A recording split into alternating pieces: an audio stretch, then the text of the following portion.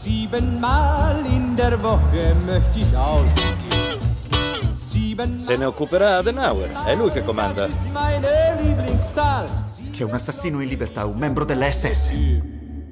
Dimenticheremo presto il più grande crimine contro l'umanità. Di cosa sta parlando? Che un procuratore tedesco non sappia cosa è successo ad Auschwitz è vergognoso. Abbiamo un crimine reale, delle vittime concrete. 10 milioni di nazisti e quegli idioti hanno annotato ogni cosa.